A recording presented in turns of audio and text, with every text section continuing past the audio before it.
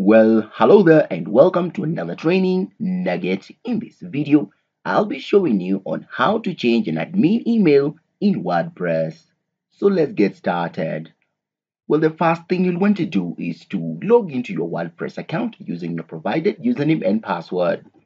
Once you log in, you'll be navigated into the WordPress dashboard area.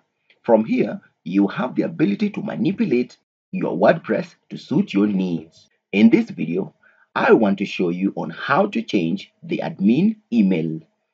So for me to see the number of people who are registered into my site, I have two options. One is to navigate on the navigation panel on the left area and select users.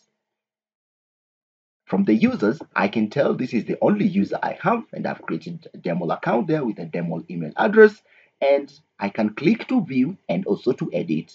By selecting edit, I have the power to change quite a number of elements within that user. One, I can change their first name and second name. I have already created a user account which cannot be changed, but I also have other options that I can change, including my admin email address. So to change an admin email address on this window, navigating to the email input area, I'll select that and have my test. As my email. I can also change other things including having some biographical information, have their avatar, and even set a new password.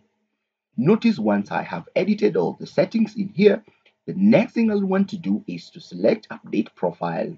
If you don't update your profile, then the changes that you have done will not reflect. The other way away from using this navigation area is to navigate at the top bar of your WordPress, the top right location where we have an avatar. By hovering your pointer, a flyout menu shows up with some options that you can use. In this case, we don't want to log out but edit the profile. I'll select edit the profile and you can tell that I'm navigated back to the very same window that I had when I clicked on the navigation panel users. Again from here, I can change the passwords, change the usernames as required. And there you have it. That is how easily you can change the WordPress administrator email in your WordPress installation. I hope this video has been very educative and if you liked it, hit on that subscribe button and I'll see you in the next nugget.